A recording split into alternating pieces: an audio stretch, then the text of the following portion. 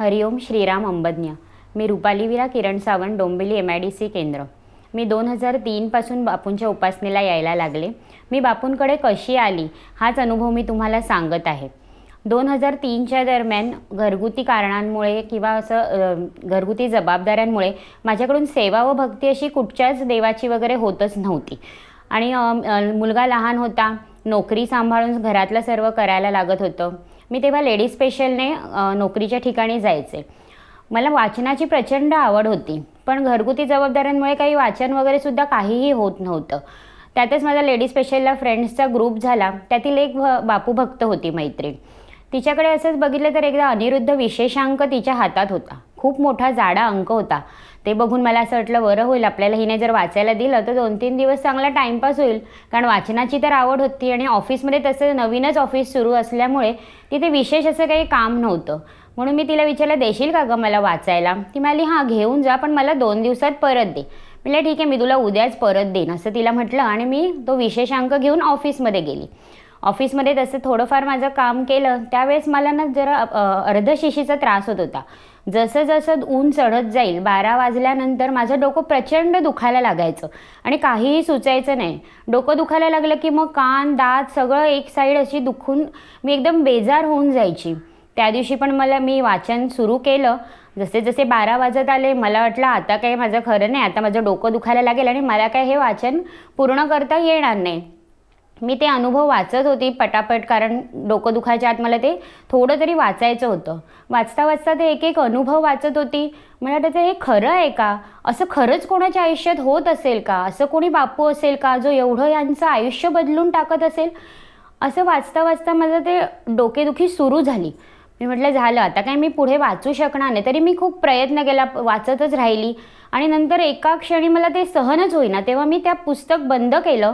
त्याच्यावर बापूंचा असा उभा फोटो होता. त्या फोटोवरच मी डोकं ठेवलं. आणि बापूंना असं ग्लानीतच सांगितलं की बापू जर तू खरा असशील खरंच ह्या विशेषांकामध्ये जे अनुभव आहेत आणि ते जर खरंच या भक्तांना आले असतील ना तर तू माझं हे डोकं दुखणारं जे आहे ना ते पण बंद करशील. असं मी बोलली आणि मी त्या विशेषांकावर डोकं ठेवलं आणि मला झोपच लागून गेली. अर्धा तास वगैरे झाला असेल मला जाग आली. बघितलं तर ते दुखणारं डोकं पूर्णपणे थांबलं होतं. बापूंना नमस्कार केला म्हटलं खरंच बापू तू आहेस. असं करून मी पुन्हा मग तो विशेषांक त्या पूर्ण दिवसामध्ये मी पूर्ण विशेषांक वाचला. दुसऱ्या दिवशी सकाळी ती मैत्रीण पहिला मला परत गाडीत भेटली. तिला मी तो विशेषांक परत दिला आणि तिला म्हटलं मी वाचला हा विशेषांक मला खूप आवडला. मी काही तिला मला आलेला अनुभव वगैरे सांगितला नाही. मग नंतर तिला मी विचारलं की कुठे असे बापूंची उपासना कुठे चालते? मग तिने मला बँड्राचा हे दिलं की तिथे तिथे चालते असं न्यू इंग्लिश स्कूल बँड्राला. मी विचार केला मला तर काही जाता येणं शक्य नाही कारण उपासना संध्याकाळी असते यायला रात्र होते. मला काय घरातले काही कोणी पाठवणार नाहीत. मी तो विचार सोडून दिला. आणि मग मी माझ्या आईला पण गावी असायची. आई तिला पण फोन करून सांगेल की असं असं मी एक असं हे वाचलं. तर असं बापू म्हणून कोणीतरी आहे. तर तू पण सावंतवाडीला तिकडे विचार असं कुठे काय आहे का? आणि तुला जमलं तर तू जा म्हणून. मग तिने सुद्धा तिकडे प्रयत्न केला. तर नक नेमकं तिच्या आत्तेभावाकडेच तिकडे उपासना चालायची. मग ती तिकडे जायला लागली उपासनेला. आणि मी इकडे विचारच करत राहिली की आता मला बँड्राला जाता येत नाही आहे डोंबिलीत कुठे उपासना आहे? तर ही म्हणाली की डोंबिलीत माझी मैत्रीण म्हणाली वेस्टला उपासना असते. मी लांबूनच बघितलं तर ते वेस्टला स्टेशनच्या जवळ होतं पण दोन तीन मजले चढायचं होतं. माझा मुलगा अवघा एक दीड वर्षाचा होता आणि तो हेल्दी होता.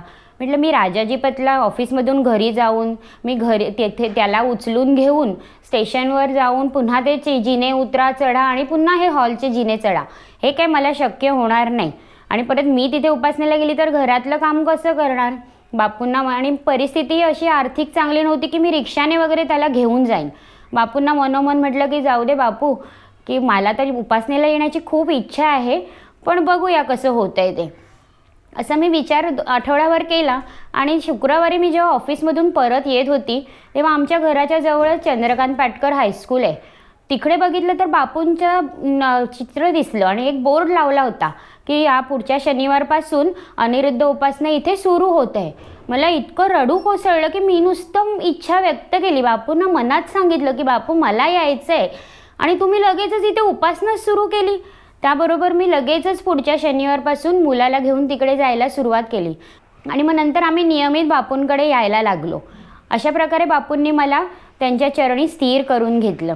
हरिओम श्रीराम अंबज्ञ नाथ संविध